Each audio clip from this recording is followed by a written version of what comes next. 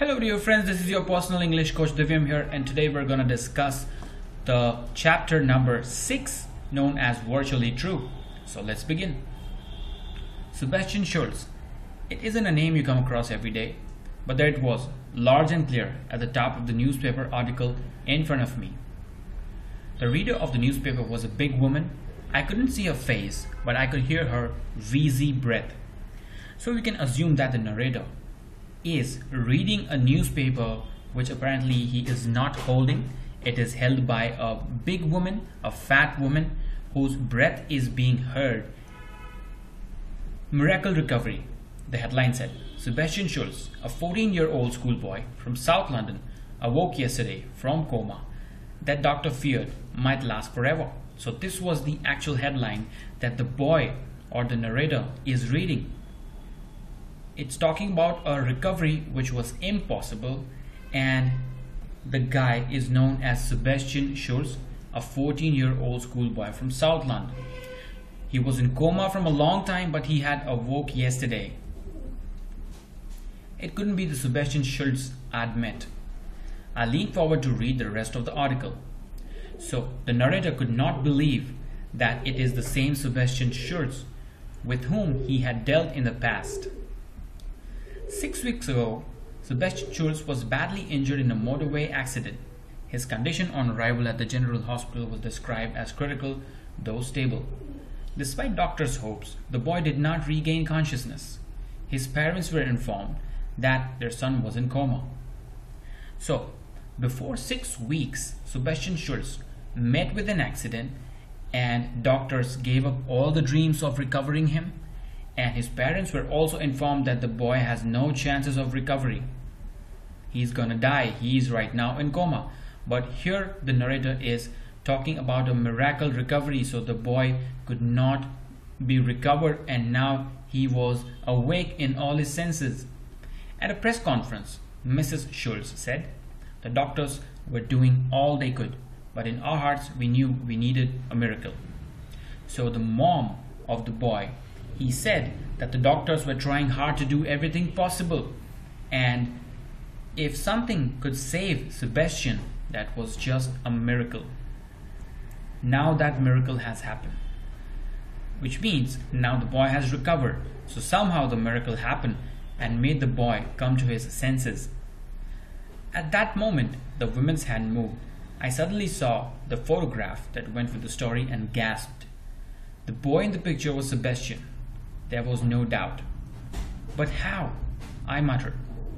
So, we can assume that the narrator is reading the newspaper held by the big fat lady, and the hand of the big fat lady was on the picture of Sebastian Schultz.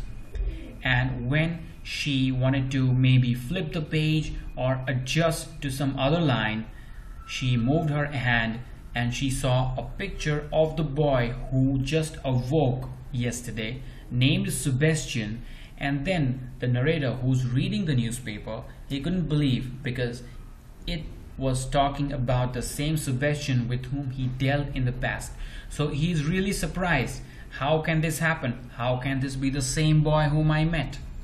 Sebastian Schultz the boy I'd got to know so well recently had apparently been in coma for all that time.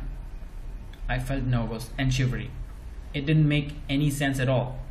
So we can assume that the narrator had a lot of uh, dealing with Sebastian Schultz, and so he was feeling nervous that how can he come back to recovery when when he was in coma from a long time. I stared out the, out of the train window and ran through the events in my head. So now the narrator is trying to recall everything that happened with him and Sebastian. He's looking out of the train window. So by now, we know that the narrator is sitting in a train. There is a big fat lady in front of him, and she was reading the newspaper. And the newspaper's headline, maybe she was reading the middle page, and the newspaper had opened on the face of the narrator, and it talked about Sebastian. Dad's nutty about computer. He's got a Pentium 150 MHz processor with 256 of RAM, 1.2 GB hard drive, and 16 speed CD-ROM, complete with speakers, printer, modem, and scanners. It can do anything paint, play music, create displays. Even when my homework's rubbish, it looks fantastic. This stanza means that the narrator's father is really a techie or a tech savvy guy.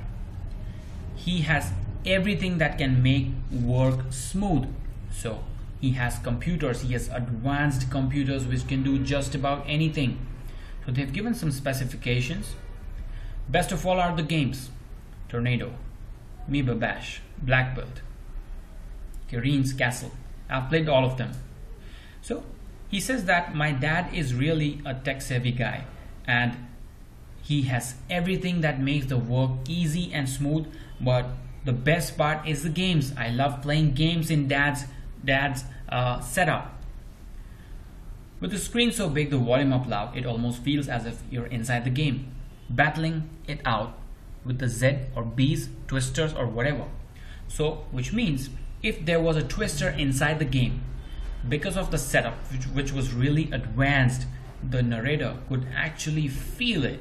So the narrator is is imagining himself to be in that situation when he is playing the game technology was advancing every day and dad couldn't resist any of the new gadgets or gizmos that came on the market that was why we went to computer fair we came away with virtual reality whizzer and a glove and handful of the latest interactive Psychodrive game. They are terrific.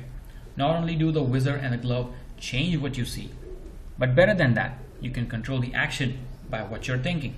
Well, cool. So, because of this dad's attitude of having the latest gadgets, the dad got to know about some computer fair which sold latest gadgets, and the dad and the son went to the computer fair and they bought a whizzer and a glove. So whizzer is something like a, a virtual reality helmet and there's also a glove. So it's it's actually controlling the items on the screen so you would actually feel that you're inside the game while uh, you might just be sitting in your room.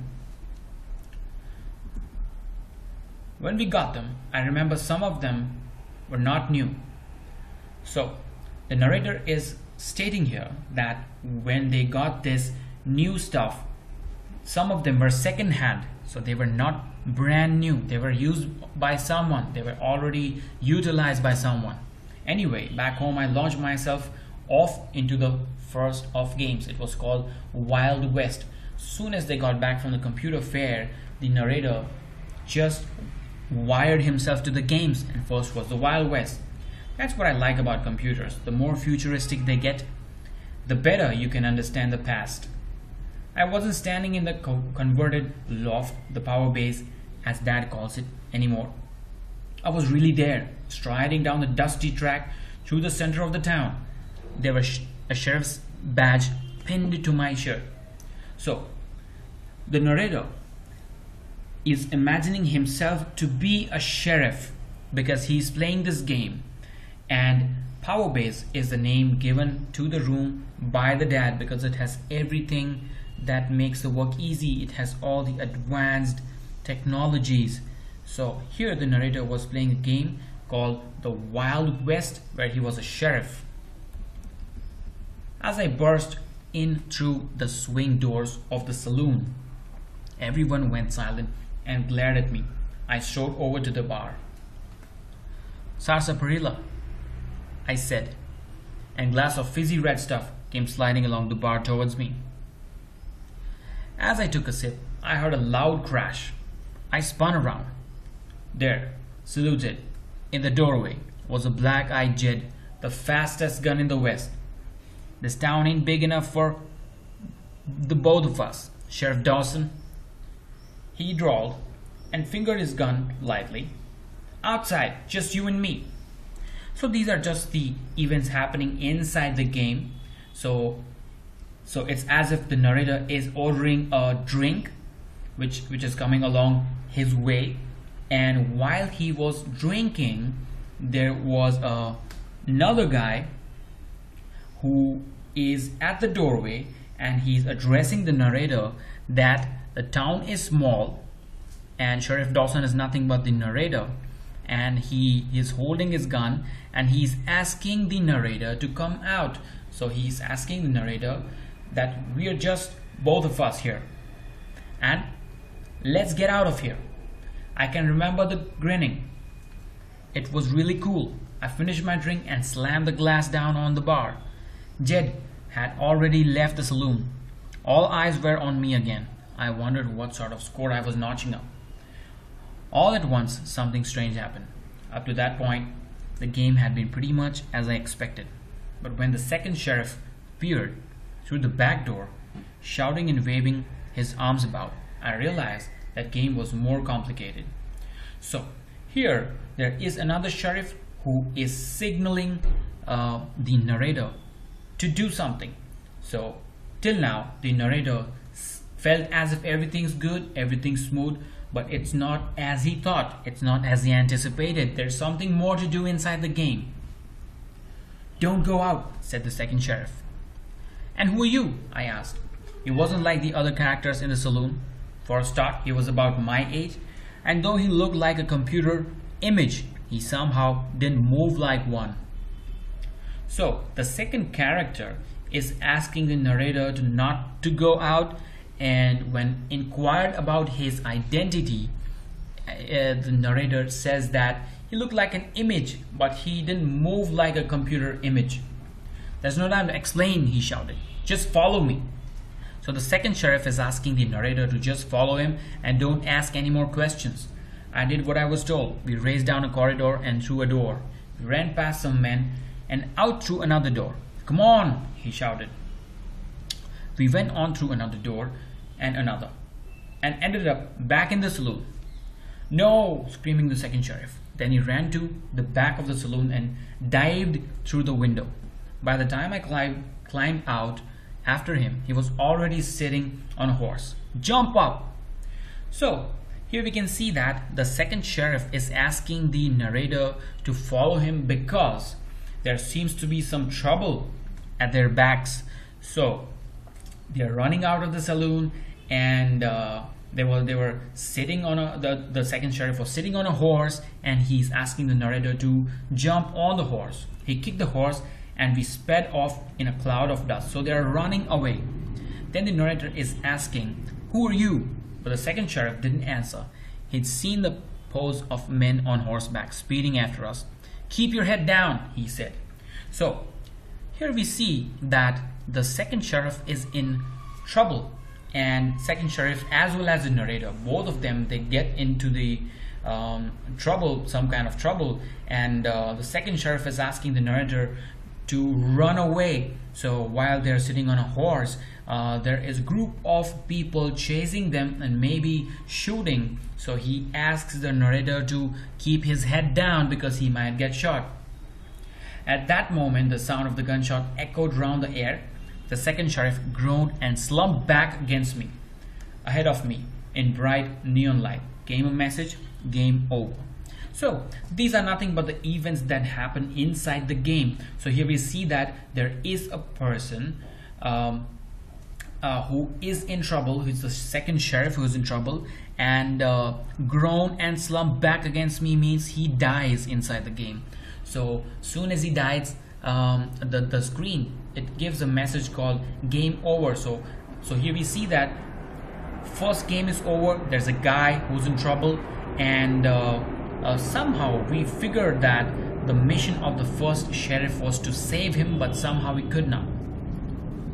As I slipped off the visor, the empty desert disappeared and I found myself back in the power base. So now, uh, because this was a game and when the game was over, he, the, the narrator realizes that he is still in the power base. I took off the glove and headphones. I glanced at the score on the screen, 21,095. Then I noticed the printer had come on. I picked up the piece of paper from the tray. At the top was a picture of second sheriff. This time though, he was wearing jeans and sweatshirt. Printed over the bottom was a message. I'm stuck. Please help to retrieve me. Try Dragon Quest, Sebastian Schultz.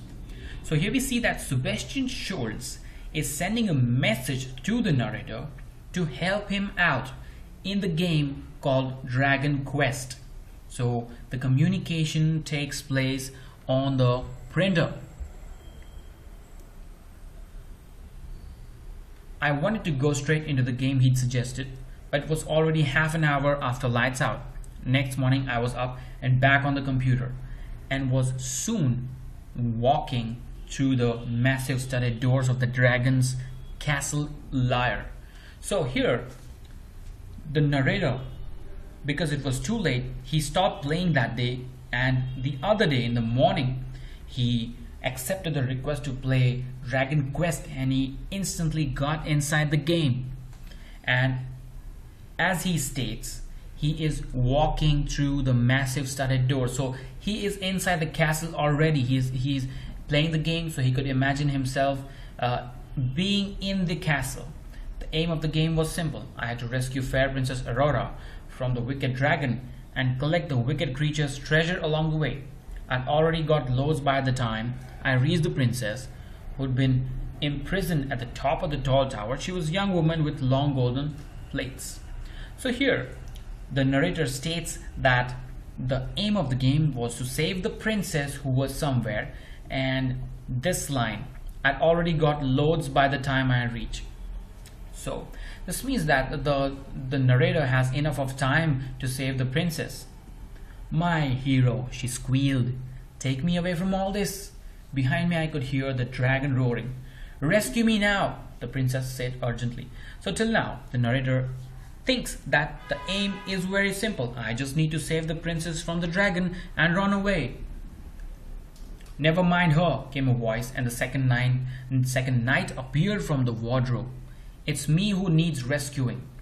So, the thought process of the narrator breaks here. Why? Because the narrator need not follow the goal of the game. He, he does not need to save the princess. But as we saw the request on top, I'm stuck. Please help to retrieve me. It's not from any princess. It's from Sebastian Schultz. So Sebastian Schultz is the second knight who actually sent the request to the narrator to save him. So he says, don't mind her, don't think about her, don't worry about her. It's me, it's me who's in trouble, so rescue me, don't rescue her. Sebastian, I said. The sec second knight nodded. Quick, he said while there's still time. And with a pair of scissors, he chopped off Princess's two long plaits. Then he tied them together, fixed one end around the bedpost and threw the other end out of the window. Now, he screamed as he leapt for the window and down the hair rope. So, uh, we can imagine how the second knight managed to get out of the window by tying Princess's hair across the bed and then he's asking the narrator to climb down the hair and get out. At that moment, the dragon appeared. I gasped and leapt too. I lowered myself down and felt the dragon's fiery breath. Across the moonlit battlements, we ran down the spiral staircase through a street passage on the other side of the tapestry. And the whole time I could hear and feel and even smell the evil dragon following in close pursuit.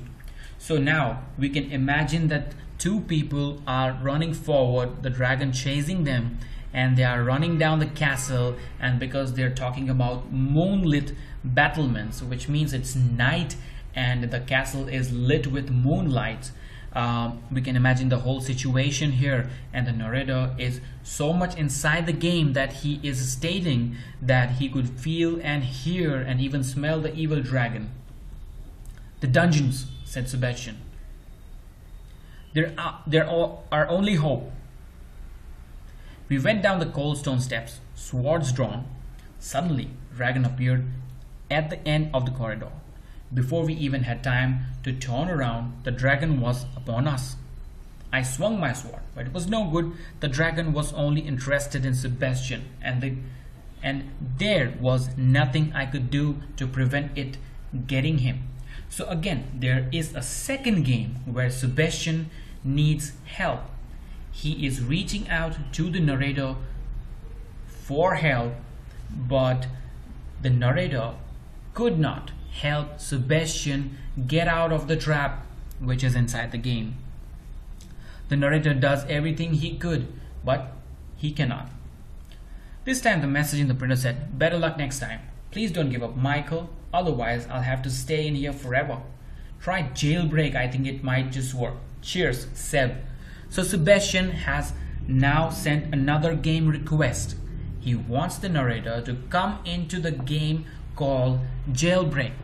So from this line, we can say that the narrator's name is Michael and he's asking Michael to get inside another game. And uh, what we see from this line is the narrator somehow has to save Sebastian to relieve him, to set him free somehow. So Sebastian is always in trouble in all the games and he has to be saved by this narrator named Michael.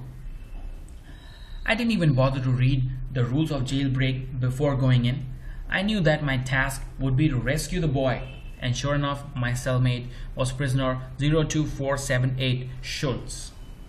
So, the narrator, Michael, he already knows that I have to save Schultz. So there is no aim, there is no goal of the game, there are no tasks. My only task is to save Sebastian Schultz.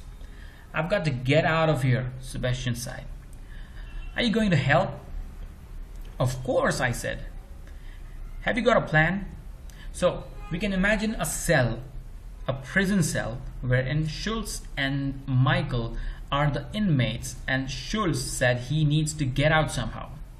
Stupid question. With the help of skeleton swipe cards, we were soon out of the cell and racing down the corridors. Sirens wailed, guard dogs howled, heavy boots came tramping behind us, steel barred doors slammed shut. We dodged the guards, we fled the dogs, we made it to the staircase and pounded upwards. So, there is something called skeleton swipe card which is a plastic card on which data has been stored so somehow we can imagine that michael and sebastian they get out of the jail with dogs and sirens and boots following them. So, next on the roof, Sebastian looked around and glanced his watch nervously. It should be here by now. So Sebastian is waiting for something. What was that? What? I said. That, said Sebastian and pointed. A helicopter, I exclaimed. That was my idea, said Sebastian excitedly.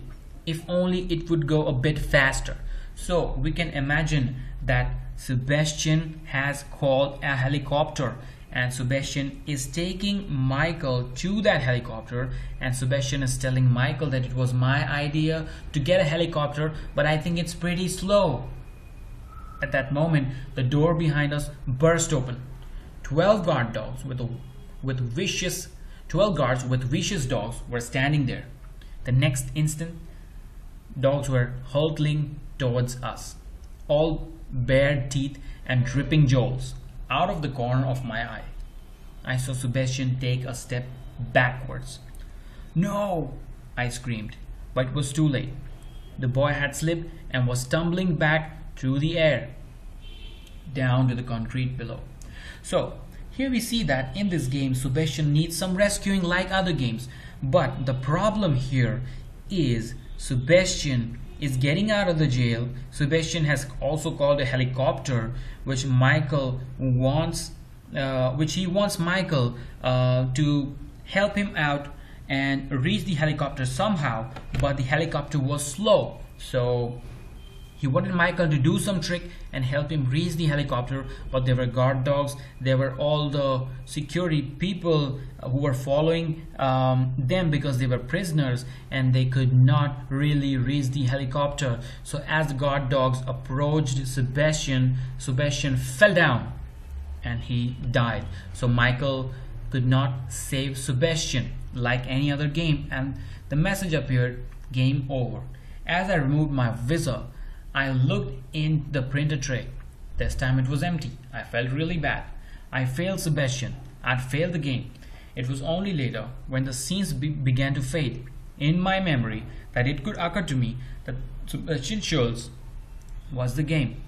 Well, so now Michael could see that there was no message. Sebastian is no more asking for help. So, so Michael felt bad. He said that I am a failure in all the games I'm unable to save Sebastian. So he's also thinking that Sebastian Schultz was the game himself. Strangely, although I went back to the Wild West Dragon Quest and Jailbreak after that, I never met up with Sebastian. So Michael is looking out for Sebastian. Is he there? No, he is not. Then yesterday I heard from Sebastian. In the printer tray was a sheet of paper. Can we have one last try? It said. I think the helicopter was right idea. There's gotta be some kind of an accident. Go into war zone. If this doesn't work, I won't bother you again. Cheers, Seb. So here we, see, here we see that Sebastian desperately needs some rescuing and he's trying to give clues to the uh, to the narrator, Michael, to keep playing some of the other games here so that he can be saved. I couldn't tell which war zone where we were in.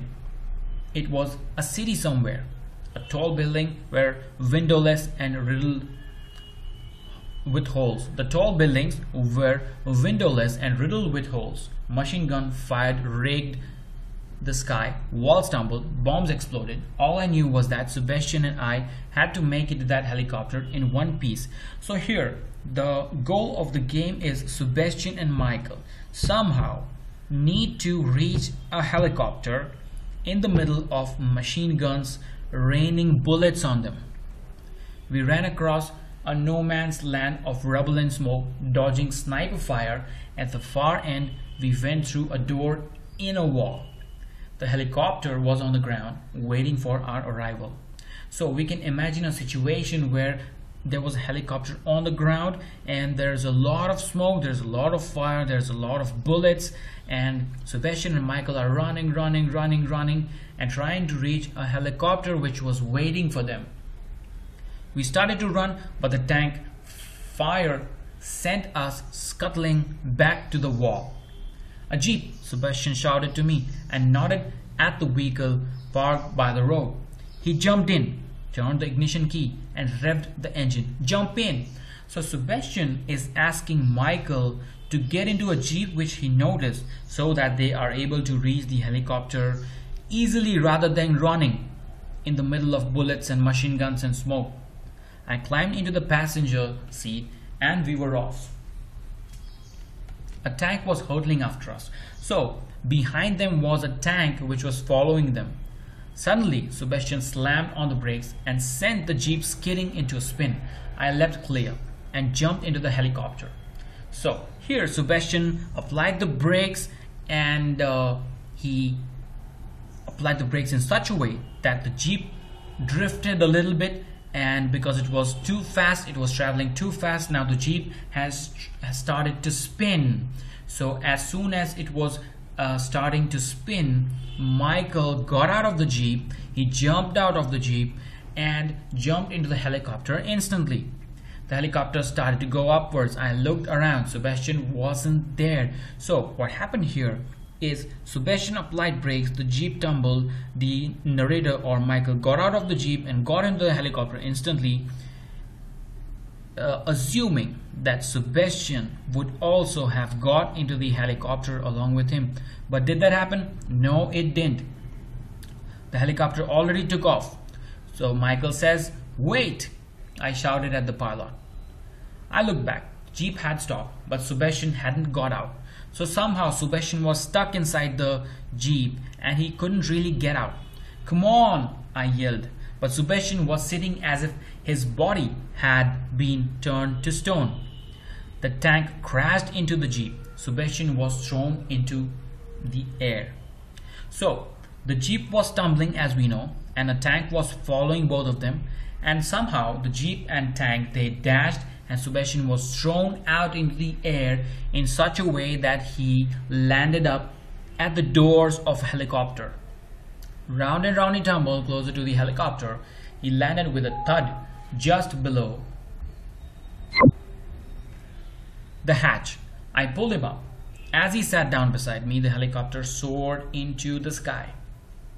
So, we can imagine how a jeep can dash with a tank and because of the dash Sebastian was thrown out of the jeep he coincidentally ended up near the door of the helicopter and there's this Michael who's already inside the helicopter pulling him into the helicopter and therefore he is proud he is happy now he says I'd done it. I'd rescued Sebastian at last.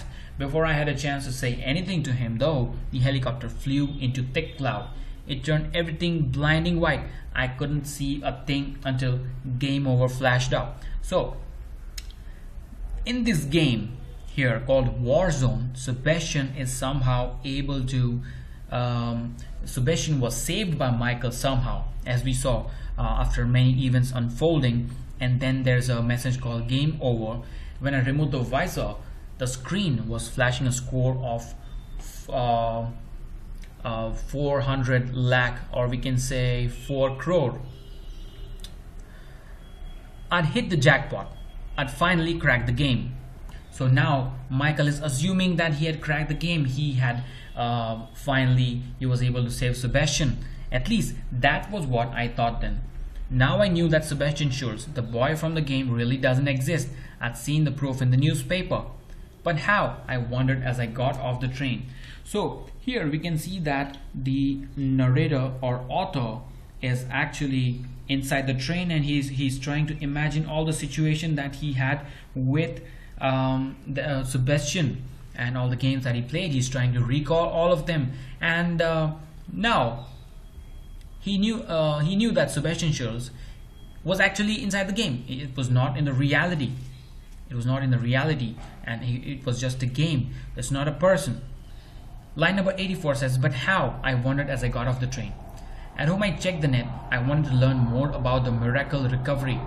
So he got into, into the power base to find out more details about this particular guy and the miracle recovery that he just read inside the train. I found what I was looking for quickly enough. Apparently, at the time of the incident, Sebastian was using his laptop to play one of his uh, one of the same Psychodrive games that I have got. My heart pounded furiously. What if because Sebastian had been plugged into the computer when he banged his head in the accident, the computer has saved his memory in its own and then what if weird version of the games I'd been drawn into had all been attempts to retrieve the memory.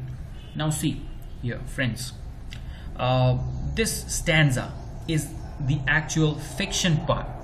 It talks about a person dashing to a computer screen and the computer saving all of his memory, which is never possible. So here Sebastian says that Sebastian is uh, Sebastian sorry Michael is imagining that what if Sebastian uh, was playing a game and while playing he banged his head onto the computer and saved um, and the computer had saved his memory so Sebastian memory was inside the computer and all the attempts that Sebastian was uh, asking Michael to try were all the uh, attempts to just get back the memory. So this is uh, the actual fiction part which most of my friends get confused. So just imagine it, this is not real, this is all virtual. After all, dad always says about computer's memory, it can never forget, Michael, nothing ever gets lost. But even if it was possible that Sebastian's memory had been stored on a disk, how had it ended up on my computer? That is a real coincidence here. So if Sebastian banged his computer and uh, his memory was inside the computer, then how did the narrator or Michael had got that piece of computer? How? How is it possible that the same computer was with Michael? Scrolling down the article, I found a possible explanation. Answering a reporter's question as to what the family was going to do next, Mr. Schultz said that they were off to stock up on some games. It was while we were in the hospital, someone stole the lot. I don't know what happened to them. Now, stole the lot means stole the game. So, Mr. Schultz say uh, is, is, is telling everyone uh, in the press to the reporters that while we were in the hospital, someone stole the game, and I don't know where they went.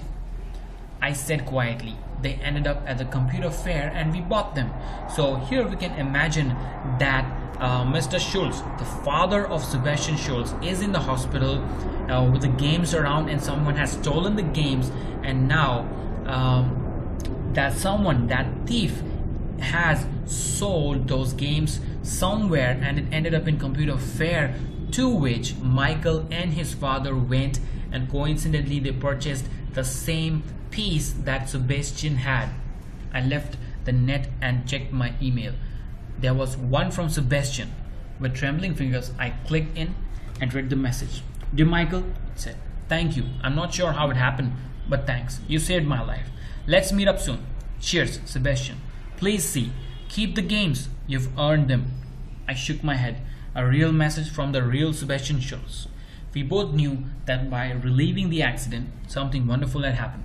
But then again, now that there are two advanced intelligences on Earth, who can say what is and what isn't possible? What I know is this everything that I've described is true virtually. So here, the narrator realizes that Sebastian memory had been stored on a disk because the computer had saved Sebastian memory as it run. And uh, when Sebastian had banged his head uh, in an accident, all of this happened. Now this all now we already know this. Um, so here uh, there is a coincidence. When the narrator or Michael checks the email he sees an email from Sebastian addressing him directly that you know Sebastian isn't really aware of how things unfolded.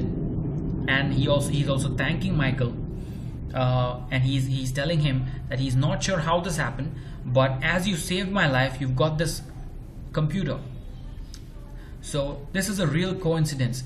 And uh, uh, line number 95 says I shook my head a real message. We both knew that by uh, relieving the accident something wonderful happened. But then again now that there are two advanced intelligences on earth who can say what is and what isn't possible? So uh, we can assume that this was a coincidence coincidence that Michael got a piece of the same game that Sebastian was playing or we can say that this was already planned by Sebastian Schultz. Now it is left to us to decide what is the actual conclusion of the story. And in the last line, what I know is this everything that I've described is true virtually. Again, the, the writer has put us in a real confusion by telling that whatever it described on top, whatever it described on top, that Sebastian's memory is getting inside the computer and uh, the coincidence that happens with Michael and Sebastian uh, is all fictional. Because this is a fiction chapter of fiction it's all imaginary. So the, the, the confusion that my friends and students face is in the fact that Sebastian's memory gets inside the computer number one. The second confusion is the email that Michael gets from Sebastian. So this is we can say that this was already planned. Either we can say that it was already planned or we can say that this was a real uh, coincidence and Sebastian is trying to actually communicate with Michael and thank him somehow by this incident. So uh, the ending might sound confusing but it's actually left to us to decide on how we want to conclude. So friends this is basically the chapter virtually true. And as I said couple of my students couple of my friends they really get into a dilemma of the ending. But uh, if this comes into the exam you can smartly um, frame sentences in such a way that it justifies the ending.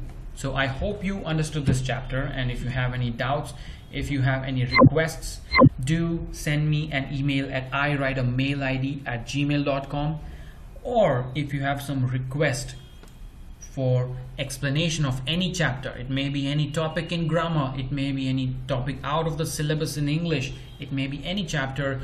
Do write me an email and I will make sure to help you understand. Thank you so much and have a great day